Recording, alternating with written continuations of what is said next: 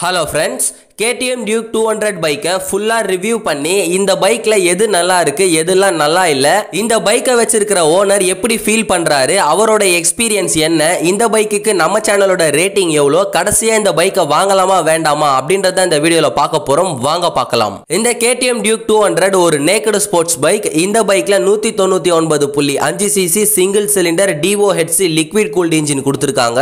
இந்த பைக் அதிகபட்சமாக அரௌண்ட் இருபத்தஞ்சு பிரேக்காஸ் பவரை ப்ரொடியூஸ் பண்ணும். அட் டென் தௌசண்ட் ஆர்பிஎம்ல டார்க்கை பொறுத்த வரைக்கும் அதிகபட்சமாக பத்தொன்பது புள்ளி அஞ்சு நியூட்டன் மீட்டர் டார்க்கை ப்ரொடியூஸ் பண்ணும் அட் எயிட் தௌசண்ட் ஆர்பிஎம்ல ஃபியூவல் டெலிவரி சிஸ்டமா ஃபியூல் இன்ஜெக்ஷன் கொடுத்துருக்காங்க. டிரான்ஸ்மிஷன் சிஸ்டமை பொறுத்த வரைக்கும் ஆறு கியர்ஸ் கொடுத்துருக்காங்க. பிரேக்கிங்கை பொறுத்த வரைக்கும் ஃப்ரண்ட்ல முந்நூறு எம்எம் டிஸ்க் பிரேக் கொடுத்துருக்காங்க. ரியர்ல இருநூத்தி முப்பது எம்எம் டிஸ்க் பிரேக் கொடுத்துருக்காங்க. சேஃப்டியை பொறுத்த வரைக்கும் சிங்கிள் சேனல் ஏபிஎஸ் இருக்கு. வீலை பொறுத்த வரைக்கும் ஃப்ரண்ட் அண்ட் பேக் ரெண்டு வீலுமே அலாய் வீலு தான் ரெண்டு வீலுமே டியூப்லெஸ் டயர் தான் சஸ்பென்ஷன் சிஸ்டம் பொறுத்த வரைக்கும் ஃப்ரண்ட்ல சைட் டவுன் ஃபோர் சஸ்பென்ஷன் கொடுத்துருக்காங்க. ரியர்ல மோனோஷாக் அப்சர்வர் கொடுத்துருக்காங்க.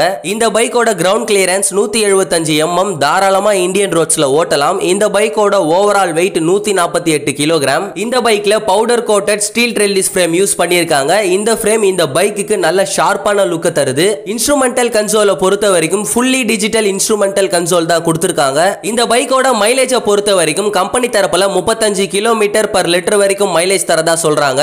ஆனா இந்த பைக்கை பயன்படுத்த பயன்படுத்தினவங்க ஆவரேஜா இருபத்தஞ்சுல இருந்து முப்பது கிலோமீட்டர் பர் லிட்டர் வரைக்கும் தான் மைலேஜ் தரதா சொல்றாங்க. பொதுவா அதிக சிசியில ஒரு பைக்கை வாங்குறோம்னா மைலேஜ் அதிகமா எதிர்பார்க்க முடியாது. ஸோ எக்கானமி ஸ்பீட்ல டிரைவ் பண்ணீங்கன்னா முப்பது கிலோமீட்டர் மைலேஜ் எதிர்பார்க்கலாம். இந்த பைக்கை வாங்கிட்டு எக்கானமி ஸ்பீட்லயே ஓட்டுறது கொஞ்சம் கஷ்டமான விஷயம் தான். நம்மளே ஒரு சில டைம்ல ஃபாஸ்டா தான் ஓட்டுவோம். ஸோ குறைந்தபட்ச மைலேஜா இருபத்தஞ்சு கிலோமீட்டர் எதிர்பார்க்கலாம். இந்த பைக்கோட ஹெட்லாம்பை பொறுத்த வரைக்கும் ஃப்ரண்ட்ல ஹாலோஜன் ஹெட்லாம்ப் கொடுத்துருக்காங்க. ரியர்ல எல்இடி டெய்ல் கொடுத்துருக்காங்க. பொதுவா ஒரு பைக்கோட பிரைஸ் ஒரு ஒரு இடத்துக்கும் ஒரு ஒரு டீலர்ஷிப்புக்கும் மாறுபடும். இந்த பைக்கோட ஆன் ரோட் பிரைஸ் ஆவரேஜா ஒரு லட்சத்தி எண்பத்தைந்தாயிரம் ரூபாய்க்கு மேல தான் வரும். சரி இந்த பைக்கை நான் ஓட்டுன வரைக்கும் என்னென்னலாம் நல்லா இருந்துச்சு என்னென்னலாம் நல்லா இல்லைன்னு சொல்றேன். ஃபர்ஸ்ட் ஆஃப் ஆல் இந்த பைக்கோட ரைடிங் பொசிஷனை பத்தி நான் சொல்லியே ஆகணும். இந்த பைக்கில் உட்காந்த உடனே இந்த பைக்கோட ரைடிங் பொசிஷன் ரொம்ப அக்ரஸிவாலாம் கிடையாது. ரொம்ப நார்மலாக இருந்துச்சு ஆனால் ரொம்ப கம்ஃபர்டபுளாக இருந்துச்சு. ஒரு சில பைக்லலாம் உட்காரும் போதே நமக்கு ஐயோ வித்தியாசமான பைக்கில் உட்காந்துட்டோமோ? ஓட்டுறதுக்கு ரொம்ப சிரமமாக அன்கம்ஃபர்டபுளாக இருக்குமோன்னு தோணும். பட் அந்த மாதிரி எதுவுமே இந்த பைக்கில் தோணும் தோணல ரைடிங் பொசிஷன் ரொம்ப சூப்பராகவே இருந்துச்சு. ரெண்டாவது இந்த பைக்கோட பிக்கப்பும் த்ராட்டில் ரெஸ்பான்ஸும் தான். கேடிஎம் டியூக் த்ரீ நைன்டி அளவுக்கு இந்த பைக்கோட பிக்கப்பும் அந்த புல்லும் கிடையாது. ஆனால் இந்த பைக்கோட பவரை நம்மளால ஈஸியாக ஃபீல் பண்ண முடியுது. காரணம் என்னன்னா இந்த பைக்கோட பவர் டு வெயிட் ரேஷியோ தான். இந்த பைக்கோட பவர் பார்த்தீங்கன்னா இருபத்தஞ்சு பிரேக்காஸ் பவர் இந்த பைக்கோட வெயிட் பார்த்தீங்கன்னா நூற்றி நாற்பத்தி எட்டு கிலோகிராம் இந்த இடத்துல பவருக்கு ஏற்ற வெயிட் கிடையாது. பவரை கம்பேர் பண்ணும்போது வெயிட் கொஞ்சம் கம்மியாக தான் இருக்கு. இந்த காரணத்தால் தான் இந்த பைக்கோட பவரையும் பிக்கப்பையும் நம்மளால ஈஸியாக ஃபீல் பண்ண முடியுது. முக்கியமாக இந்த பைக்கோட த்ராட்டில் ரெஸ்பான்ஸை பற்றி நான் சொல்லியே ஆகணும். த்ராட்டில் பண்ண உடனேயே இன்ஜின் ரொம்ப ரொம்ப சீக்கிரமாகவே நமக்கு ரெஸ்பான்ஸ் பண்ணுது. நம்ம ஆக்சலரேட் பண்ணுறதுக்கும் பைக் மூவ் ஆகிறதுக்கும் எந்தவித லேகுமே இல்லை. ரொம்ப ரொம்ப அற்புதமாக இருந்துச்சு. அடுத்தது இந்த பைக்கோட கியர் ஷிஃப்டிங் ஒரு சில பைக்லலாம் கியர் மாற்றுறது ரொம்ப ஹார்டாக இருக்கும். அப்படியே கியரை போட்டு அழுத்தி மாற்றுற மாதிரி இருக்கும்.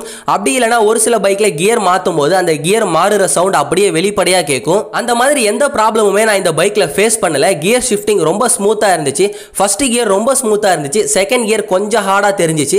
பட் தேர்ட் கியர் நல்லா இருந்துச்சு. ஃபோர்த் கியர் சூப்பராக இருந்துச்சு. ஃபிஃப்த் அண்ட் சிக்ஸ்த்து ரொம்ப ஸ்மூத்தாக இருந்துச்சு. ஓவராலாக கியர் ஷிஃப்டிங்கில் குறை சொல்லிக்கிற அளவுக்கு எதுவுமே கிடையாது. அடுத்ததான் இந்த பைக்கை ஓட்டும் போது நான் ஒன்று ஃபீல் பண்ணேன். நான் வந்து ஒல்லியாக தான் இருப்பேன். இந்த பைக்கை கொஞ்சம் ஃபாஸ்ட்டாக ஓட்டும் போது காத்தடிச்சாலோ இல்லை பெரிய வெஹிக்கிள் ஏதாவது ஓவர்டேக் பண்ணாலோ பைக் கொஞ்சம் தள்ளுற மாதிரி ஆடுற மாதிரி இருந்துச்சு. இது நான் ஒல்லியாக இருக்கிறதாலையும் இந்த பைக்கோட வெயிட் கம்மியாக இருக்கிறதால தான் இது வந்து நான் ஃபீல் பண்ணேன்.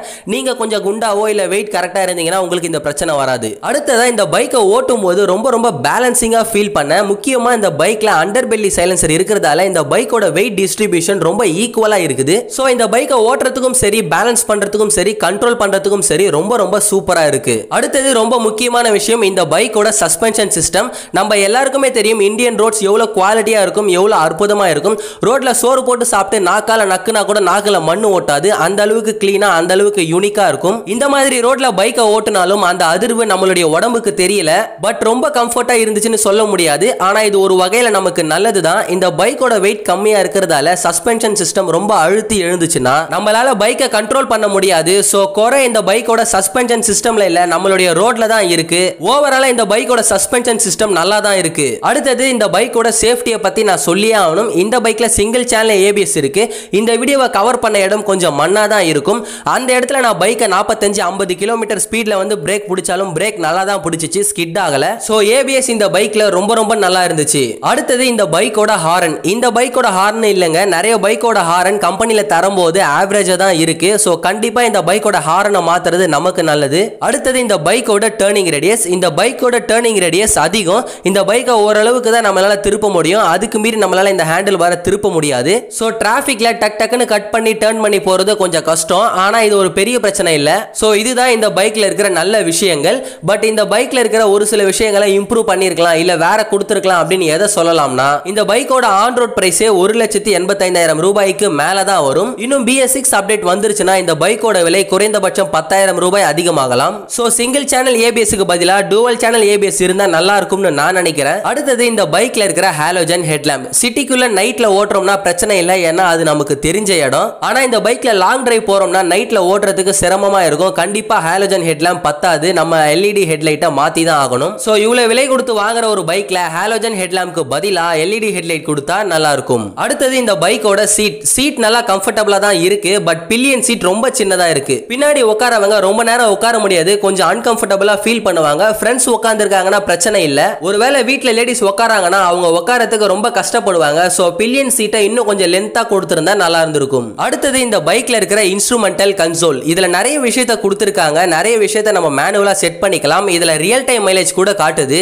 பட் இந்த பைக்கை லான்ச் பண்ணப்ப இது சூப்பரான இன்ஸ்ட்ருமெண்டல் கன்சோல் தான். பட் இன்னைய தேதிக்கு இதை விட சூப்பரான இன்ஸ்ட்ருமெண்டல் கன்சோல் கொடுக்குறாங்க. ஸோ இப்போ இருக்கிற ட்ரெண்டுக்கு ஏற்ற மாதிரி இன்ஸ்ட்ருமெண்டல் கன்சோலை மாத்தினா நல்லா இருக்கும். இந்த விஷயங்கள் தான் இந்த பைக்ல இருக்கிற குறைகள். இதை குறைகள்னு சொல்ல முடியாது. இந்த விஷயங்களை அப்கிரேட் பண்ணா நல்லா இருக்கும்னு சொல்லலாம். அடுத்தது இந்த பைக்கோட ஓனர் கிட்ட ஒரு சில கேள்விகளை கேட்டு அவர் இந்த பைக்கை பயன்படுத்தின வரைக்கும் என்ன ஃபீல் பண்றாரு அப்படின்ற அவரோட எக்ஸ்பீரியன்ஸை கேட்கலாம். ஹாய் ஹாய் உங்க பேரு? டி முகமது ஹஷீம். இந்த பைக்கை எப்போ வாங்குனீங்க? ரெண்டாயிரத்தி பதினேழில் வாங்கினேன். ரெண்டு வருஷம் ஆச்சு. இந்த வண்டி வாங்கி ரெண்டு வருஷம் ஆகுது. வாங்கின புதுசுலையும் இப்போயும் எப்படி இருக்குது பர்ஃபார்மன்ஸ் ஏதாவது டிஃப்ரென்ஸ் தெரியுதா உங்களுக்கு? ம்.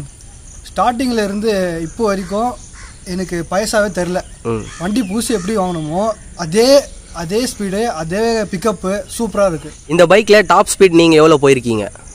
நான் ஒன் தேர்ட்டி ரீச் பண்ணியிருக்கேன். இந்த பைக்கோட ரைடிங் பொசிஷன் எப்படி இருக்குது உங்களுக்கு நல்லா கம்ஃபர்டபுளாக இருக்கா? ஆ ரைடிங் பொசிஷன் நல்லா இருக்குது லாங் டிரைவ் போக சொல்லலாம். பேக் பெயின் இது வரைக்கும் வந்ததே இல்லை. நல்லா இருக்குது ஓட்டுறதுக்கு. ஹைவேலையும் சரி மேடு பள்ளத்துலேயும் சரி கம்ஃபர்டபுளாக இருக்குது ஓட்டுறதுக்கு. இது வரைக்கும் இந்த பைக்கை வாங்கி ஏதாவது ப்ராப்ளம் வந்திருக்கா? ஏதாவது சேஞ்ச் பண்ணியிருக்கீங்களா இது வரைக்கும் பெரிய ப்ராப்ளம் எதுவும் வந்ததில்லை. ஒரு முறை சடனாக பிரேக் லிவர் பிடிக்கும்போது பிரேக் லிவர் உடஞ்சிச்சு அப்போவே சடனாக மாற்றிட்டேன் வேறு எதுவும் சேஞ்ச் பண்ணியிருக்கீங்களா இல்லை ஒரு மாதம் முன்னாடி பேட்டரி சேஞ்ச் பண்ணியிருக்கேன் கேடிஎம் டியூக் டூ ஹண்ட்ரட் பைக்கை யாராவது உங்ககிட்ட வந்து வாங்கலாமா வேண்டாமான்னு கேட்டால் நீங்கள் என்ன சொல்லுவீங்க? கேடிஎம் டியூக் டூ ஹண்ட்ரட் வந்து கண்டிப்பாக வாங்கலாம். நாலு பேர் நாலு விதமாக பேசுவாங்க. அதெல்லாம் விட்டுருங்க. அதெல்லாம் விட்டுட்டு உங்கள் வண்டி ரொம்ப பிடிச்சிருந்துச்சுன்னா கண்டிப்பாக வாங்கிடுங்க ஓகே இந்த பைக்குக்கு நம்ம சேனலோட ரேட்டிங் எவ்வளோனா அஞ்சு ஸ்டாருக்கு தாராளமாக நாலு ஸ்டார் கொடுக்கலாம். ஏன் அந்த ஒரு ஸ்டார் கொடுக்கலனா ஹாலோஜன் ஹெட்லாம்ப்க்கு பதிலாக எல்இடி ஹெட்லாம்பும் சிங்கிள் சேனல் ஏபிஎஸ்க்கு பதிலாக டூவல் சேனல் ஏபிஎஸும் இப்போ இருக்கிற இன்ஸ்ட்ருமெண்டல் கன்சோலை இன்னும் கொஞ்சம் இம்ப்ரூவ் பண்ணி பிஎஸ் சிக்ஸ் அப்டேட் அப்போ லான்ச் பண்ணாங்கன்னா கண்டிப்பாக அப்போ five out of five star கொடுக்கலாம். கடைசியாக இந்த பைக்கை வாங்கலாமா வேண்டாமான்னு என்ன கேட்டிங்கன்னா உங்களுக்கு சிட்டிக்குள்ளேயும் ஓட்டணும். வாரத்துக்கு ஒரு முறை அல்லது ரெண்டு மாதத்துக்கு ஒரு முறை இல்லை மாதத்துக்கு ரெண்டு முறை நான் லாங் டிரைவ் போவேன். எனக்கு மைலேஜ் பிரச்சனை கிடையாது. இந்த பைக்கோட விலையும் பிரச்சனை கிடையாதுன்னா கண்ணை மூடிட்டு தாராளமா இந்த பைக்கை வாங்கலாம். எப்பயுமே ஒரு விஷயத்த மட்டும் ஞாபகம் வச்சுக்கோங்க. நீங்க பைக்கை வாங்கினாலும் சரி இல்ல காரை வாங்கினாலும் சரி இல்ல வேற எந்த பொருளை வாங்கினாலும் இன்னொருத்தன் கிட்ட போய் அந்த பொருளை பத்தி நல்லா இருக்குமா நல்லா இருக்காதான்னு கேட்காதீங்க. ஏன்னா ஒருவேளை நீங்க சொன்ன பைக் அவனுக்கு பிடிக்கலனா அந்த பைக்ல இந்த ப்ராப்ளம்லாம் இருக்குன்னு பொய்ய சொல்லிட்டு அவனுக்கு பிடிச்ச பைக்கை தான் உங்களுக்கு சஜஸ்ட் பண்ணுவான். சோ இனிமே உங்களுக்கு ஒரு பைக்கோ அல்லது காரோ வாங்கணும்னு தோணுச்சுன்னா யாரையுமே கேட்காம தாராளமா போய் அந்த பைக் அல்லது காரை வாங்குங்க.